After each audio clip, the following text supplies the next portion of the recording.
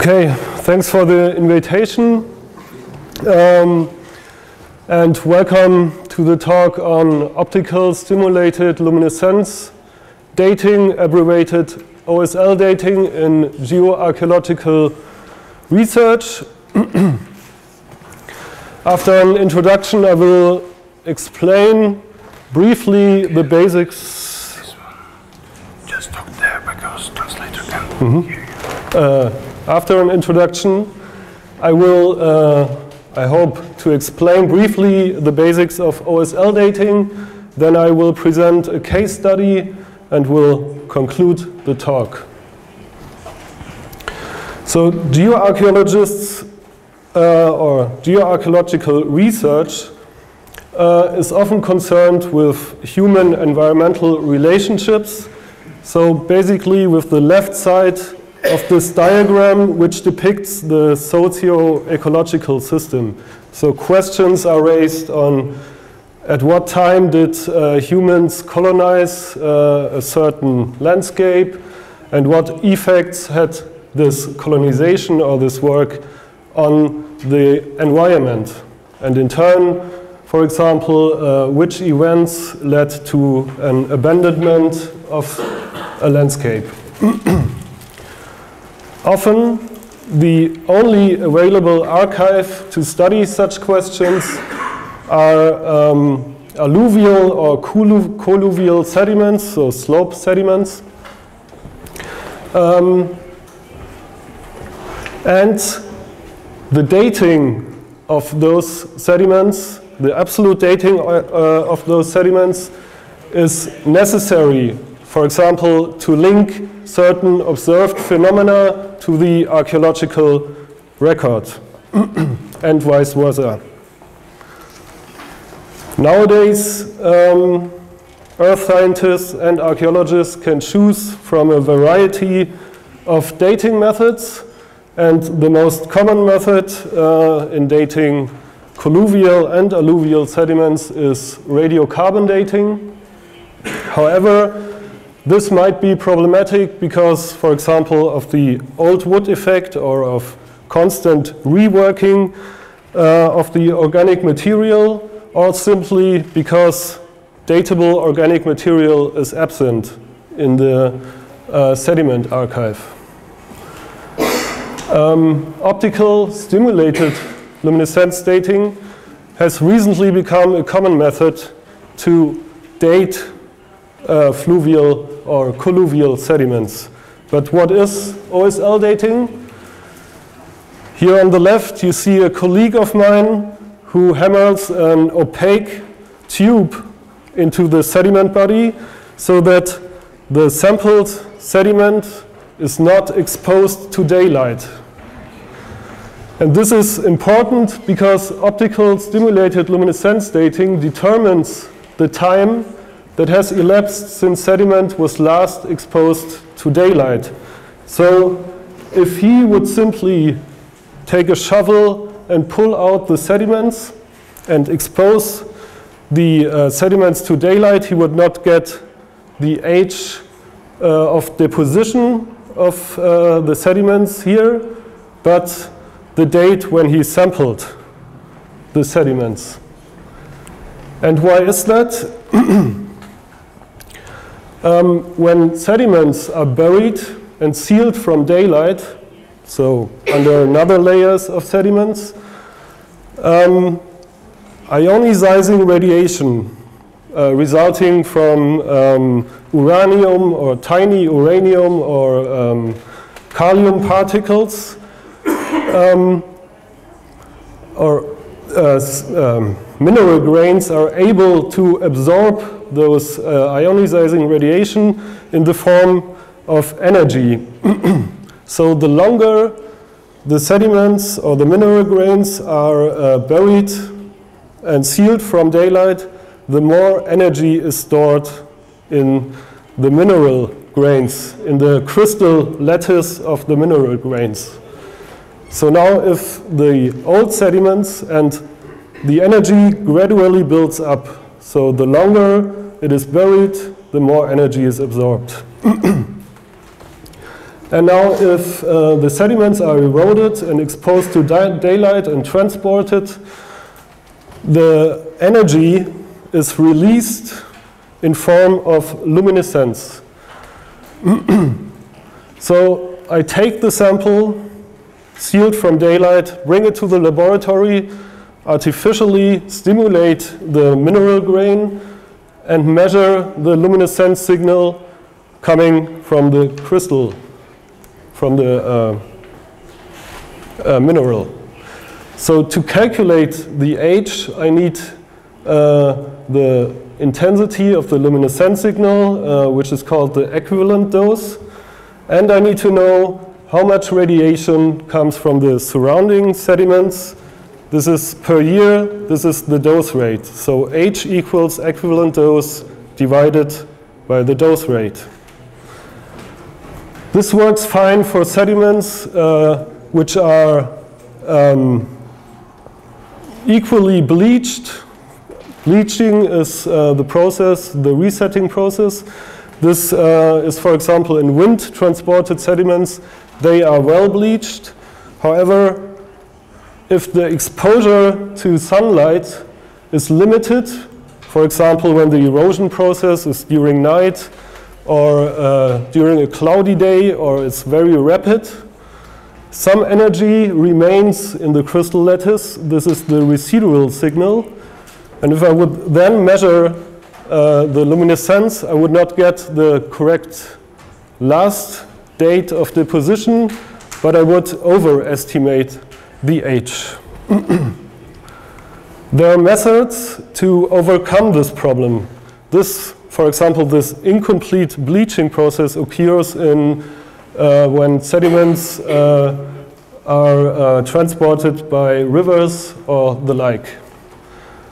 However, um, methods, new methods uh, use only small subsamples or a lot of small subsamples from the sediment sample up to 10 grains per sample or only one grain per sample and measure the luminescence intensity of each of this grain. So you get a distribution of different um, equivalent doses. And now, um, so this, for example, this uh, result would be an older age than, for example, this one, but coming from the same sediment, uh, sediment population. so now to determine the correct age of the last um, deposition event. I have to uh, apply an appropriate, uh, appropriate, statistical age model, which um, uh, only takes the well-bleached samples into account. And uh, the most common is the minimum age model. Okay, so far uh, to the basics of OSL. And now I come to the case study, uh, which I worked on uh, during my PhD. Uh, it was about the cultural landscape around a Nabatean Roman uh, city in Jordan, located in southwest Asia, um, in the uh, eastern highlands. Uh, Petra was famous for its rock-carved monuments and was founded around the first century uh, BC and existed until the fourth century uh, AD. the environment is very rugged, mountainous, and arid. So uh, yeah, it's arid with a winter rain regime, and um, agriculture was only possible to uh, applying a thousand year old um, or thousands of year old uh, technique. Uh, here we studied uh, those areas to the north, a few kilometers to the north and the northwest of Petra, which were uh, cultivated. Uh, and they applied so-called uh, terraced wadi systems and those systems are um, stone walls which are placed in uh, small wadis or dry land streams or dry streams, dry valleys. Uh, a series of stone walls and with sediment bodies behind, which uh, served as the area of cultivation and as a water reservoir. Here you see a satellite image of those systems. In red are the walls. Uh, up until recently, the age of those um, terraces was not known because they were only dated with surface pottery, and this is uh, problematic, so the age was under debate. So the question of the case study was, how old are these terraces? What is the chronology of this cultural landscape? And this was not so easy to determine because in most of the terraces, organic, datable organic material is absent. So uh, we applied optical stimulated OSL dating uh, and radiocarbon dating where datable organic material was present. And why should OSL dating work here? So the terraces are usually built by setting a row of stones into a wadi bed. Then the occasional flash floods, they are dammed uh, behind those dams and the and, entrained sediments settle so that a sediment body builds up. And if this reservoir is built, another row of stones is set on top. So the terraces usually gradually uh, get um, larger. Uh, not larger, but they increase in height. So what we did is we uh, took samples from the sediment body and from underneath the base stones of the terrace walls, assuming that the sediments were reworked during construction.